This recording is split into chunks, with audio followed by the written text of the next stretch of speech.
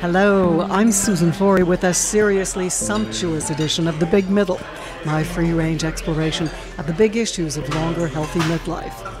A trailblazing effort to attract older workers to the restaurant trade is why I'm happily installed in the splendour of the Delaunay.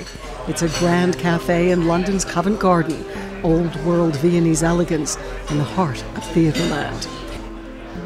This is one of the gems in the Corbin and King portfolio, Gastro Empire more like. Nine alluring London dining rooms, including the Wolsey, Brasserie Zedel, Fischer's Colbert Bellanger, and newcomer Soutine.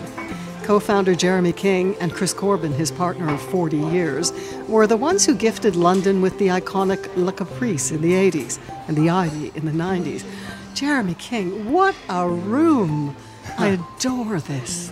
It is. It is wonderful room, and in fact, we were just discussing the fact that sadly a lot of restaurants are no longer actually investing it, and the, the whole tradition of restaurateuring is is being compromised.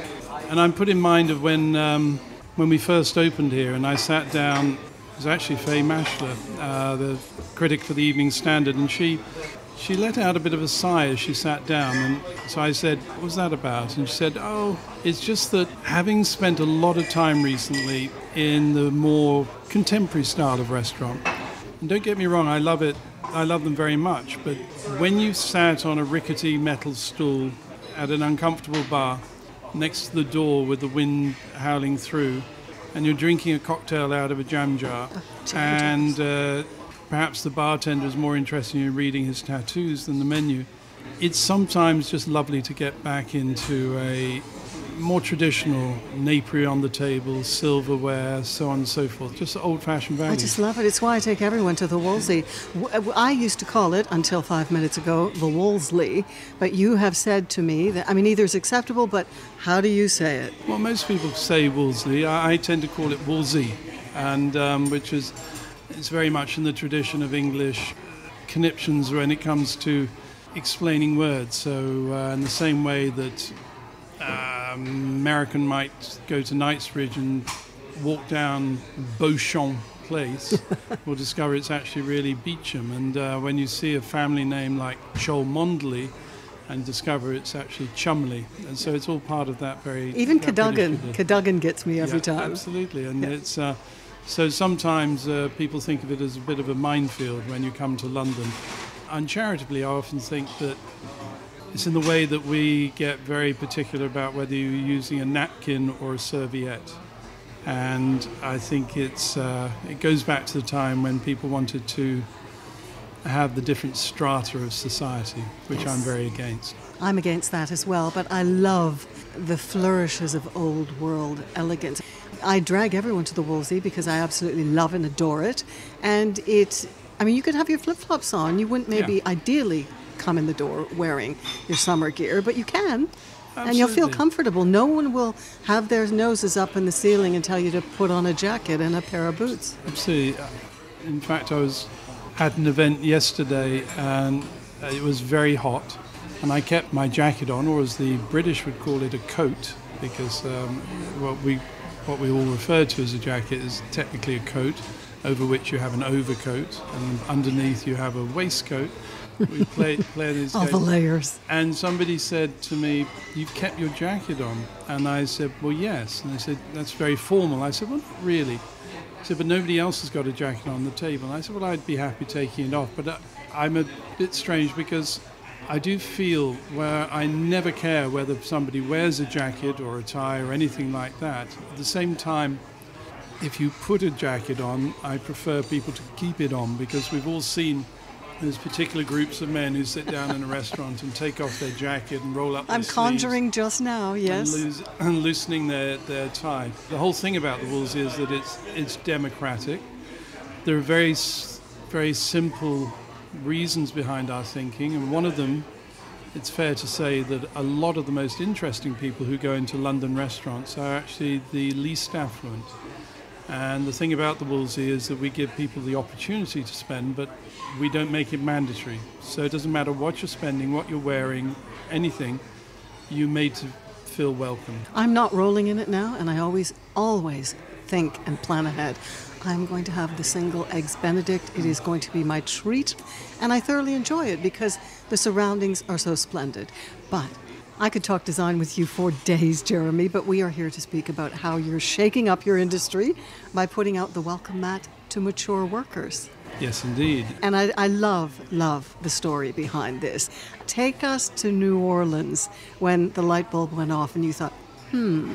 Well, the light bulb went off in New Orleans and then stayed on in uh, New York. I- I'm walking into a restaurant in Orleans called Pêche, quite a contemporary one, sort of in the warehouse district, and extremely busy in the evening, not quite so at lunchtime. And I'd been highly recommended. I go in, we sit down, a waitress comes over. There's nothing wrong with what she's doing, but there is that sense, that suggestion that she's telling us that actually she's not going to be doing this for long um, because she's got a career ahead of her and whatever it might be. Now, we happened to notice a booth come available, so we asked, would it be all right if we moved to the booth? Not for any other reason, for comfort. And we're told yes, and we sit there. And coming towards us is quite a large man. Turns out he's 55 years old.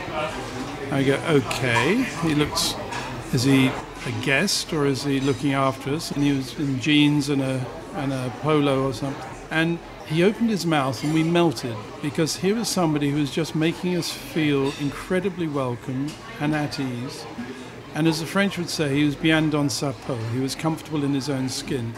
And we got to, he, he- was, he knew what we wanted, he was informative. It wasn't about him, it was about looking after us.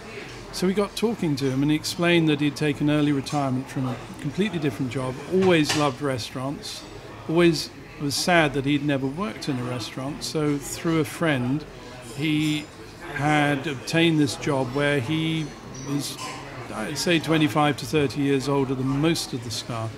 And all credit to Pêche. They, they'd embraced him, he was happy, and he said, I, I couldn't be more fulfilled at the moment. You felt visible to him and your needs oh, were Oh, yeah. front and center, uppermost in his mind. Well, the thing about it is that he was he was comfortable in what he was doing. A lot of people aren't uh, working restaurants. He was financially secure.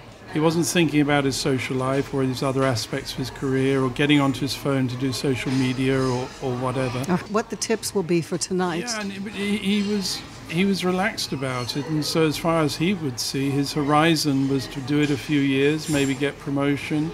Uh, he wasn't thinking I have to move within a year or so to get more experience, because Pêche was such a wonderful restaurant. They he he felt comfortable. And this is the interesting thing: is often in life we ha- we do things because we feel we should do them, as opposed to want to do them. And uh, he was fortunate that he had a career that he wanted to do. And this then got, I suppose, highlighted by soon afterwards being in New York. And I was in a very trendy restaurant. I was eating at the bar by myself. And a guy came up to me. He too turned out to be in his 50s. And when he said, What can I get you? And they said, Hang on. And then looked at me and he said, And this, this is something which can really irritate in the hands of the wrong person. He said, I'm thinking a vodka martini straight up with a twist. And he was right. And you can get it so wrong. But th- absolutely, and, and it's presumptuous and it's irritating if it's in the hands. But there's something about it, his demeanour, the way he was saying it.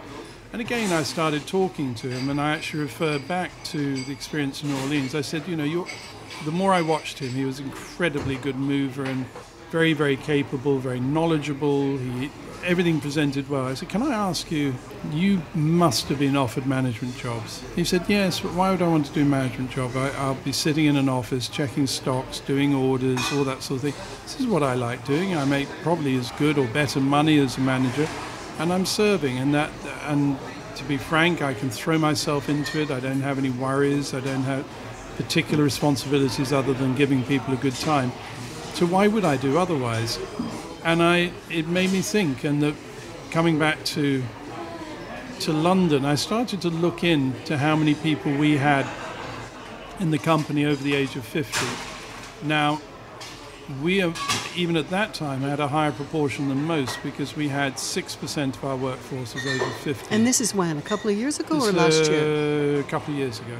And But if you look at the statistics for the UK workforce, 30% of people are over the age of 50, or they were at the time.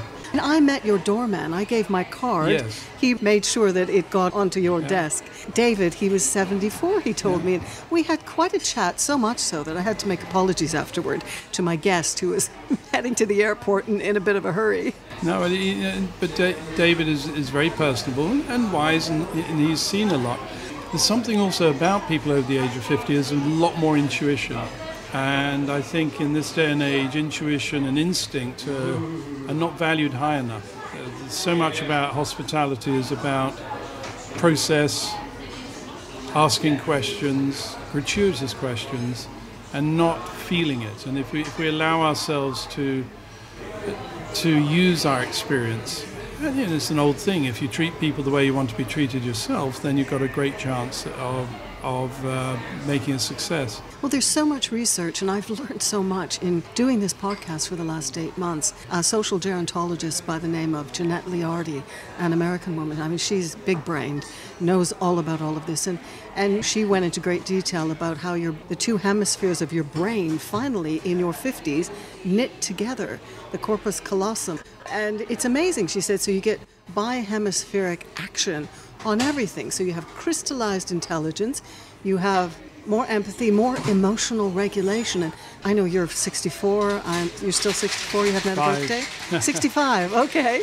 I'm 61, and even though I'm going through a weird time for me, and I'm preternaturally optimistic that it will end soon, I realize all of the things that these people are telling me, the research, the studies, it's exactly as they say. I am so much calmer mm. and more level headed and stuff unless it's really important it doesn't bother me i don't sweat the small stuff anymore I think as we as we get older, as, as long as we as long as we're reasonably balanced, because I think if you're out of balance as you get older, it can exacerbate.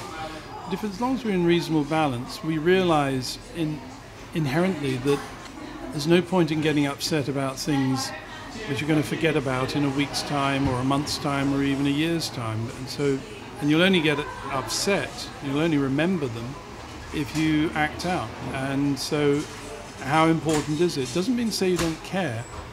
It's, it's you're less volatile, I think, in, when, you, when you get over the age of, of 50. there's balance in your thinking Yeah. and you can apply it to situations you've seen it before the the pattern recognition and the perspective kicks in and it's effortless at least i'm finding it effortless i think the people who I used to be a chief editor, chef de division in newsrooms, and I was hell on wheels. Hmm. Psycho, racing around, demanding perfection from everyone, and hard work. I know I was hard work. Yeah, and that- now and I'm so much easier to be It's around. not normal. We, we, we've got a better idea of what we want from life, and um, I am particularly struck by this this whole thing of uh, a certain calm, a certain sagacity, a, bit, a much much better pr- approach to life. But a lot of people don't understand it.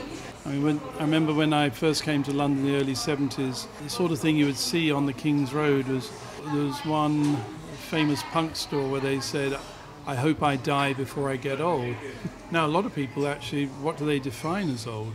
And good example is last year I was talking at a seminar for restaurateurs held by um, an accountancy firm who looked after them on various aspects of their business. And they asked me to come and talk. And they, I was going to talk a little bit about something else, but uh, I had to change direction because they apparently the guy who got went on before me was saying, "Listen, Brexit's coming. Deal with it. You're going to lose 70% of your staff at least. Um, it's, it's, it's going to be a disaster." And so they were all a bit crestfallen and uh, and asked me, "What's your feeling?" And I said, "Well, one of the things I think is true is that we adjust to situations. And I actually use them as um, by way of an example. I said, if at this moment, as I'm standing here, a bomb went off a few hundred yards away and rattled the window and noise, etc., we'd all be up and running from the room and screaming and panicking and so on and so forth. And yet, 75 years ago, if I was standing in this room in say, well, say 1941, and the same happened, it would interrupt us for a few seconds. I'd look out the window, I'd say, that was close. Now, where was I? Because you, and thus the poster was born. Be Absolutely. calm, carry you- on. Yeah, and you adjust. And we will, ad- even if Brexit goes through, and I'm not absolutely convinced it will, we would adjust. My staff often say, you know, what are we planning when the when it was the March 31st deadline? You know, what are we planning to do? I said nothing because everybody's going to be in the same boat, and you can't stockpile. And, and everybody will understand. In many ways, it will be the Blitz spirit, which is you know my was my illusion. So, and, it, and I started talking to them. I said, but there are other options. And I included in the options things like the great female workforce, which is lost to the industry through motherhood. So we have to adjust. So no mother of young children can work in a kitchen unless they've got childcare and that defeats the. Or can they? They drop the child off at school, nursery or whatever, and then they could go to work. So and you have to change the kitchen pattern. you have to change the the rotas and the expectations because I mean, everybody expects you there at eight o'clock in the morning and so on. But yeah, the can template can be ignored, can't Absolutely, it? and you can get the, the prep work which they were going to do could be prepped elsewhere or by somebody specifically hired for it. It's being creative, and the other thing I talked about was um, hiring older people because they're a magnificent resource. And I know that there's a lot of people, for instance, in my in my own business, that we started writing to people who are much more mature, used to work for us, and said, "What are you doing? You know, we'd love to hear, or maybe you'd like to come back." I Oh, how think in the last 12 months we've rehired 100 people. That they is wouldn't because they wouldn't have applied. If, uh, they wouldn't apply because they would think, "Oh, I'm too old." Or they won't want me, or they think there's ignominy in returning, etc. And, and that went hand in hand with the, with the over 50 program. But, But that is fantastic because we need to rehabilitate the whole process. We know that being in service, waiting tables or, or working front of house, it's, you know, as you found in New Orleans, and it wasn't the first time, there is an air of distraction often with the front of house people. Mm. They're almost looking down their noses at you and transmitting that this is only a pit stop for me. Yeah. I'm going to soon be the leader of whatever, or a lot of entrepreneurs, and, and they don't engage with the customers the way older people who want to be there will do, with, with a smile and Totally. an authentic smile. and they're more experienced and they want to work for you and they've come back and they're a great example and they were scared maybe that there were as I say an ignominy in, in returning but there's not and uh, but I went on to talk about the over 50 initiative and then uh, we got on to question time and one guy put up his hand he's probably 25 years old and he said well it's all very well this hiring people over the age of 50, but what's the practicality of it? I mean, let's face it, what's the practicality? You From the to- eyes of a 25 year old, he I thinks know. you'll need the slippers by the front Absolutely, door. no, they- as far as he is concerned, that meant you had to make special concessions on rota. They wouldn't be able to work some hours. You have to do this. You have to do that. Doesn't fit into a normal running of a restaurant. I said, okay. I said, be careful. Because at the time I was 64. I said, you are talking to a 64 year old. And perhaps I can ask you what time you got up this morning to start working. Well, 8 o'clock. And I said, well, I was up at 5.30 and I'm going to be in the restaurants till 11 p.m. tonight. What about you? I said, I'm not on any special diet or spe- special concessions. You'd be, you'd be surprised. And it is amazing, um, totally amazing how somebody 25 can have a, this other idea. I actually, in, in their case, I, I then shocked them a bit. I said, this is just as bad that you have it in your you have it in your heads if you're 25 years old that for instance there is no such thing about such as sex after the age of 50 wise up there are people well into their 70s and 80s who, who are still having sex and just the same way they're having sex they're working in restaurants and they're active It's a state. It's an entirely a state. We need to change the mindset across the age spectrum and blow up all these stereotypes. People are people are people. They have the same needs, wants, desires. The whole story about aging, the narrative that we've been sold since we were born and that has been embedded, internalized, in, is that it's decline and decrepitude. And that's what being older means. Hmm. And older, depending on the 25 year old, he obviously would think 60 is older and you're not going to have sex, you're not going to be able to string a sentence together and shuffle on down, please. And there are 60-year-olds who behave that way, or certainly 65-year-olds. It's a state of mind. There's a very um, well, the advice I give to any of my friends my age is certain simple things in terms of avoid, avoiding a state of mind is that, for instance, if you look at men when they get up off a sofa or when they sit down, they make a noise. It's a very, it's the, it's that oof, or, and it you use it too often, and that is a surrender. And if you have been sitting down for a while and you stand up, and your back is a little bit stiff. I used to watch my father. He used to shuffle along and make noises and so on. It becomes self fulfilling. It It's becomes what you do and how you are. Exactly that. So it happens to me sometimes. I have chronic back problem, although actually better now than probably ever. I'll say, right, no, stand up, chest out, walk, walk proud. And it's a state of mind. I see 80 year olds who are younger in spirit and even to a degree body than 50 year olds. I'm sure you do. And there's a body of research that American academic Laura Carstensen did. She's from the Stanford Center for Longevity.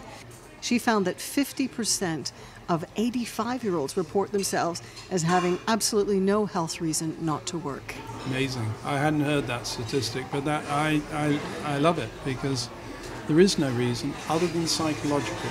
It can become, as, as you say quite rightly, a self fulfilling process. Well, that's why I'm doing this podcast. We need to shift the mindset off of this narrative.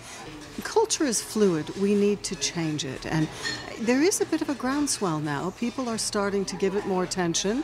It's not ever going to get as much attention as the other two biggie isms, racism and sexism.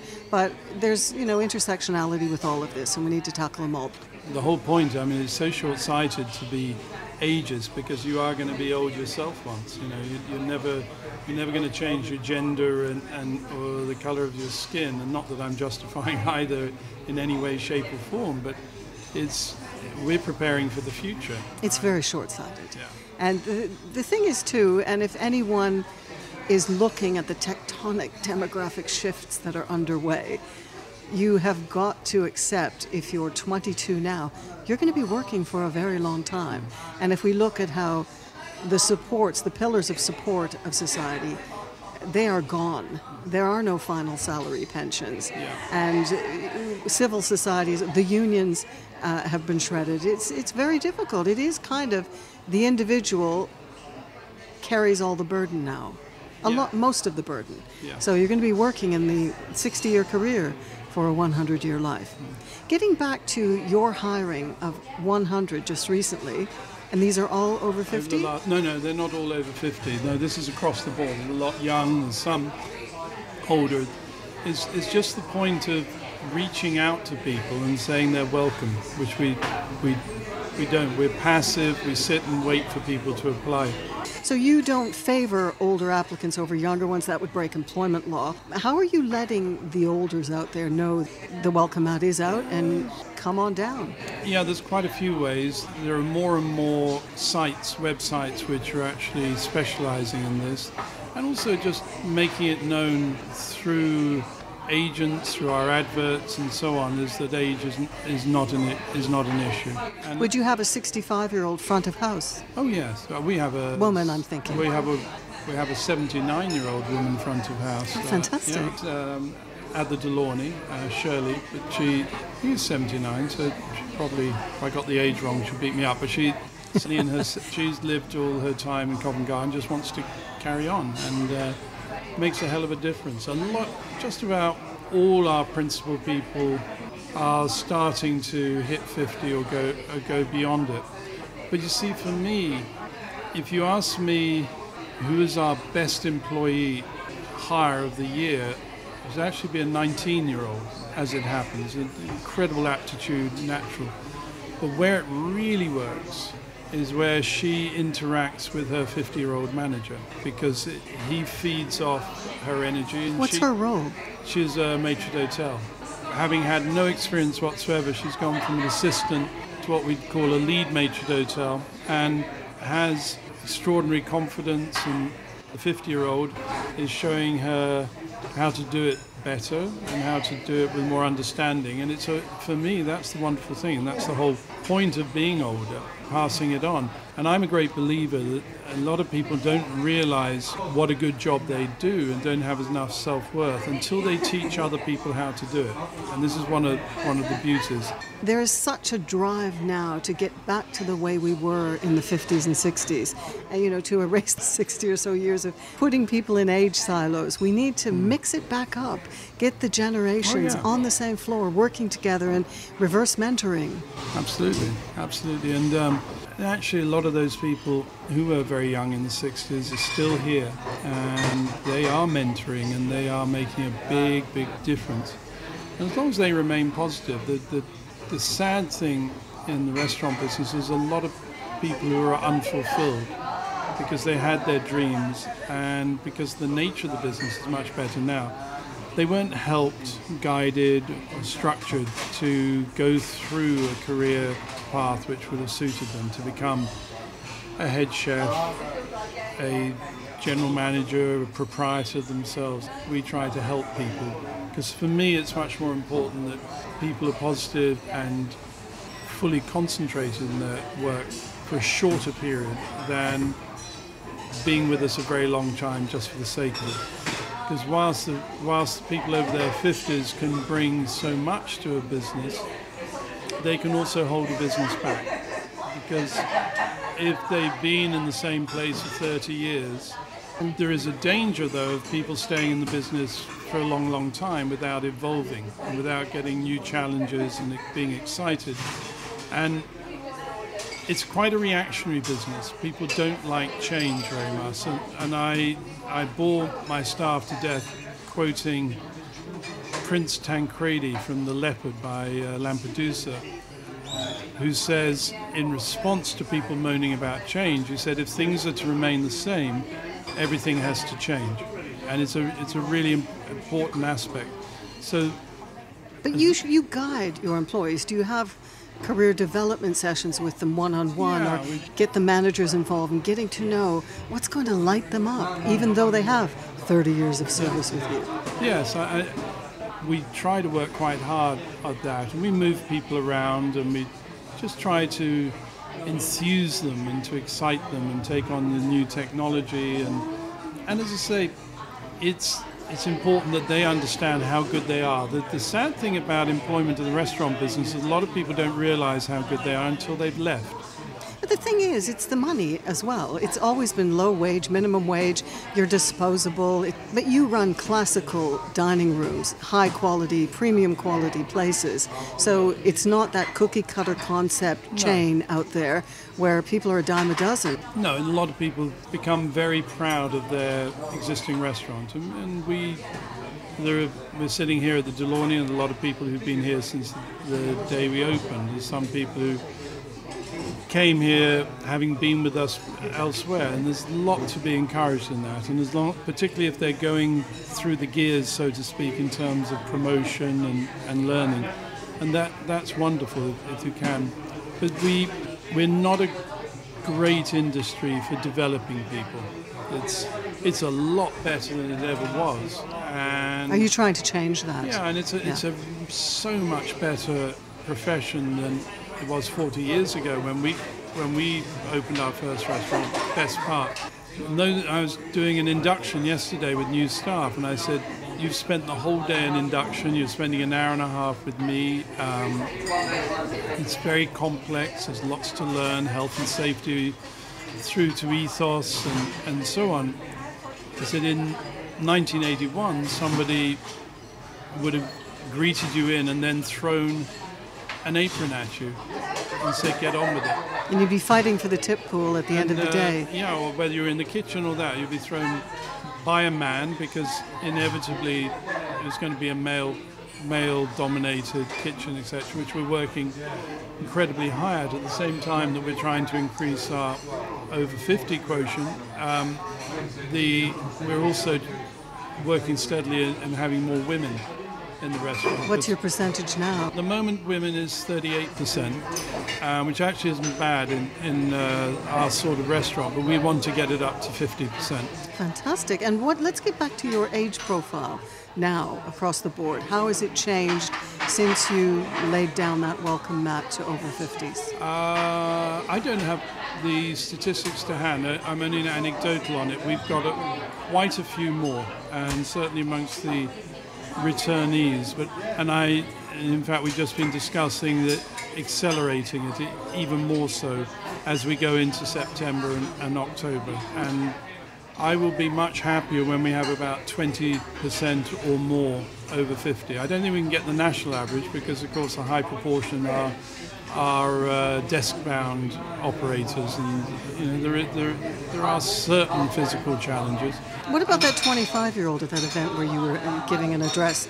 Did you manage to change his mind? I mean, I, you're out there proselytizing about this, aren't Yeah, I. I, he he was uh, an operations director of a little group of two restaurants over in Hack, Hackney, and uh, he said afterwards, actually, it did make me think.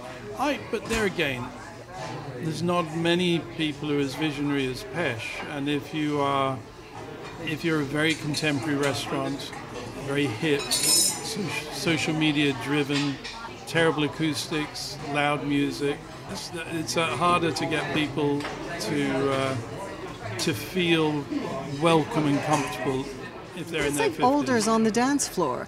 You know, over 50s, people, what, suddenly don't like dancing? Yeah, I I love dancing. And yet you think, oh, everyone, I wouldn't care. You know, I would actually probably dye my hair pink just to go out that night because I don't care what anyone says. And that's the other beauty of racking up the years.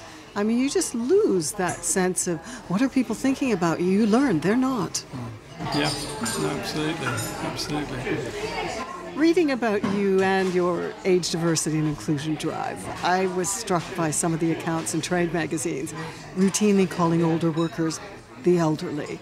You know, I was I was looking into the industry journals. and 50s and 60s now are hardly elderly. You and I, case in point.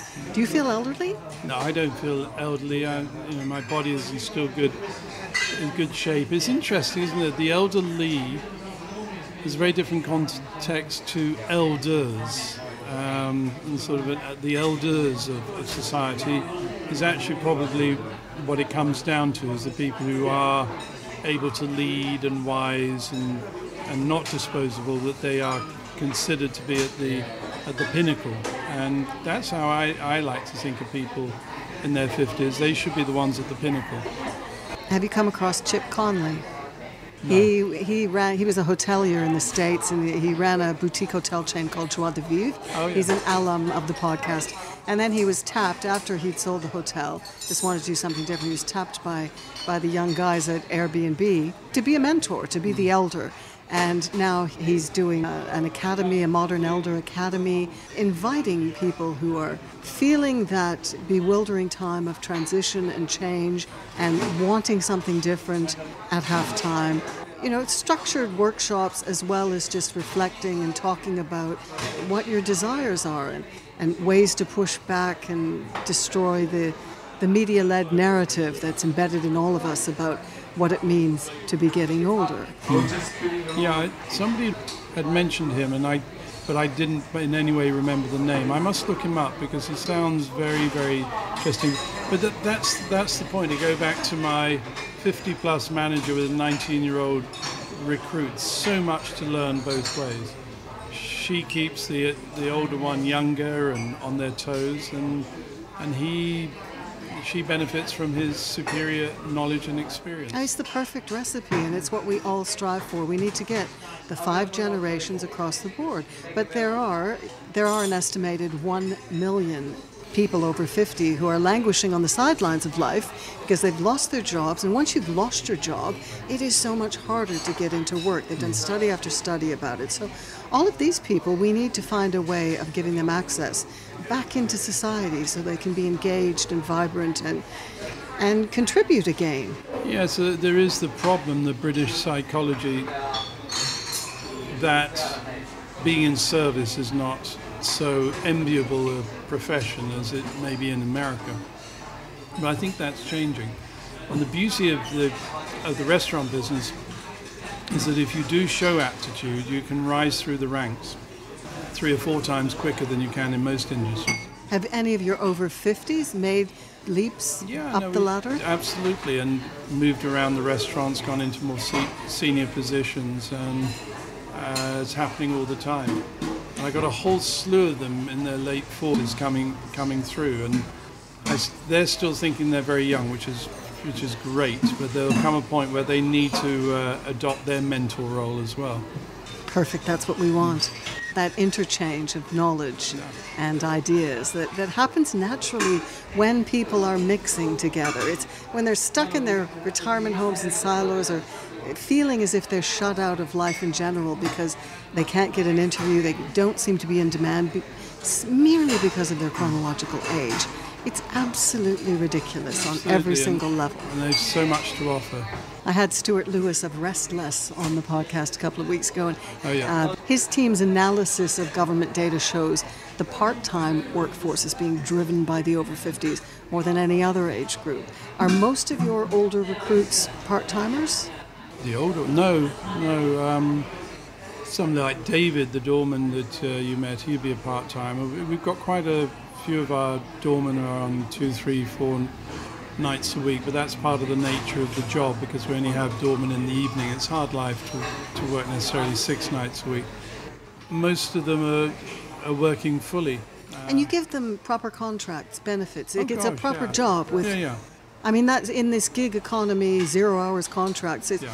The average take home pay for over 50s scrabbling about to get little part-time work and keep, keep keep the fridge filled and the bills paid is 10 grand a year. No, that's yeah. terrible. Subsistence, and, and we know the pension age, 66 in 2020, and they're going to just keep ratcheting that up. Unless, hopefully, are you familiar with the All Party Parliamentary Committee on Longevity?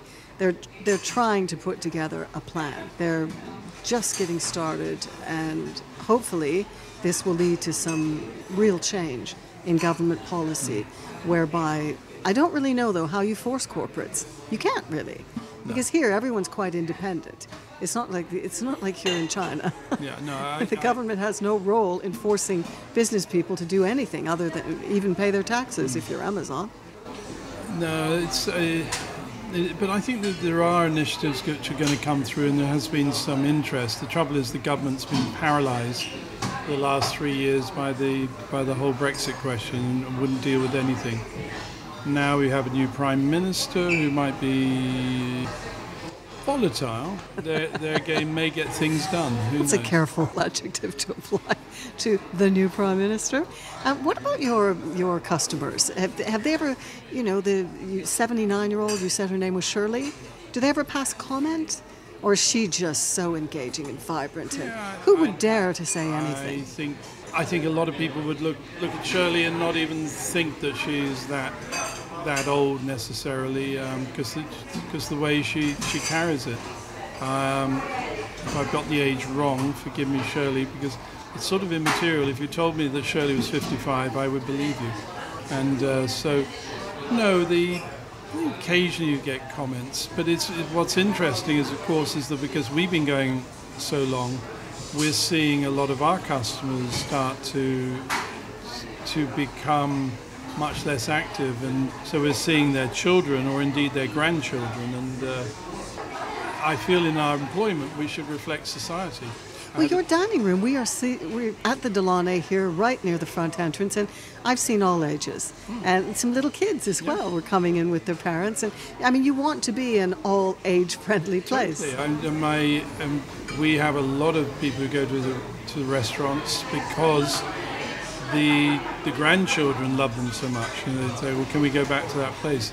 In fact, up at our new place, Soutine, I, there was a table two weeks ago which had four generations on, which is for me is perfect four generations all, all sitting together. Oh, beautiful. That must have been marvelous to see. And that's the way it works. That's the way it works all over the continent, for heaven's sakes. Yeah. Why is the UK odd man out as ever? You know, really, you live in Spain, you go to Italy, my favorite country, France, where I've lived a couple of times. Everybody mixes it up. You just don't think about age the way they do here. Here, you're siloed, and in the States as well. You know, olders are sort of looked down upon, and why are you here? And you can't exempt uh, a person from society just because they are older than you, just because they're over 50. No, you, you can only excise them from society on behavioural terms rather than anything else. They can exclude themselves. We must never do so. Do you reflect much on your own immediate future? How your life might go as you rack up the years? For me, um, I was asked the question yesterday at induction what will happen in five years, what will happen in ten years. I said, and I said, well, I have no doubt that I will be here in five years' time. As to whether I'll be here in ten years' time, I'm not sure. Um, the role of old restaurateurs used to be they'd stay in the restaurants and go around and change the ashtrays, but we don't have ashtrays anymore, so uh, we'll have to find Thanks, another role. Thanks, B. Now, remind us too, I would be very remiss in not asking you this. You had a very interesting path from wine bar manager to here. Uh, you had a spell in merchant banking, uh, deciding not to take your place at Cambridge University, and a roll of the dice was involved. Yeah. Please, please fill in the blanks on that one. Yeah, that was. Um, I always recommend people not to do anything that I did regarding the dice. That that was purely because Luke Rhinehart had this cult novel in 70. I'm not sure it was 71 or 73, but which I rather liked, and he he determined that, determined all his life choices on the throw of a dice, which set in New York. Um, at a contemporary time, and it, it was fun. And I used to use it to determine social things or determine who I was at work that day because I was bored. But unfortunately, I used it to determine whether I went to university or not. And you really threw the dice, and that was the, dice, decision. and This particular throw was 12 options rather than six, and most of the options were about going up. This is to Cambridge. Two or three were going up and changing a course. A couple about um, delaying going up, having another year off because I was having fun. And this is when you were at the wine bar? at the wine bar, and I was waiting to go up. I'd left merchant banking because I thought I was going to earn quite a lot of money somewhere and go traveling. But I, the only way to earn money is hard selling, and I'm not a, I'm not a salesperson. So I carried on working the wine bar, and then they put me up to assistant manager, even though I was going. And uh, I threw the dice, and the, the the option, which was put in as a last moment to say, and I suppose Freud would have told me that there must have been a certain amount of longing for the option is that if I got managership at the wine bar or similar within a month of being qualified, which was 21, you can have a license until you're 21, then I'd stay in the in the business for life. And that's what came up, and I got the managership. What was your family reaction? Cambridge wine bar manager. They, they, um, they were so disappointed. They'd been disappointed when I turned down the university the first time. Come the second time, it was my mother was heartbroken. But she said to me, as long as you don't wake up when you're 30 and start regretting. And I think there's an element that I did, but an element that I didn't. I, I, I could call it both ways. And, And you've uh, made beautiful celebration restaurants for people. and, and, and a lot of the things which I was interested in, which I perhaps thought I couldn't do as a profession, like being an architect or a performer or writer or something, I get fulfillment in different ways through the restaurant. So it's not a bad profession for me at all. Well, the never- design alone, you worked hand in glove with the late great designer David Collins, putting together these places. Yeah, I, I, I did. David and I, well, we started working with Sheikas and then we were using the same architects who, who did the Ivy to do uh, the Wolseley, and it wasn't working out. And David was begging, "Come on, please, let me do it. I'll do it for free."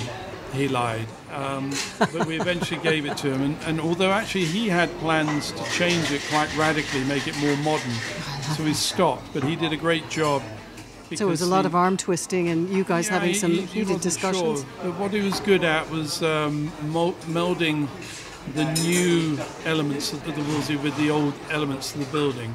And that's where David was particularly good. He Well, the blue on- bar at the Berkeley is stunning. Absolutely. Although I think they've changed it now. oh Um, no! We did fight a lot, though, and that's for sure. We did fight a lot, and Delaunay was actually saw come onto the scene uh, Shayne Brady, who was working for David Collins, and he worked with us on Zedel and Colbert, and then left David. I, it's fair to say I fell out a bit with David at the time. I loved him dearly, but we, we did fight. And then Shayne opened up his own business and went on to do Fischer's and Bellanger and Cafe Wolseley at Bicester and Soutine and for us. And The discerning aesthete in you could never give carte blanche to someone. not carte blanche, but there again, I I find with with Shayne what happens is that I might have an idea and give him the kernel of that idea, and he comes back to it with it with having grown it, um, and then we might evolve it again and we discuss it and share the ideas. It's for me, it's the perfect working relationship. I wouldn't want to work with any other designer. Oh, it's so nice when you can find that sort of creative collaboration.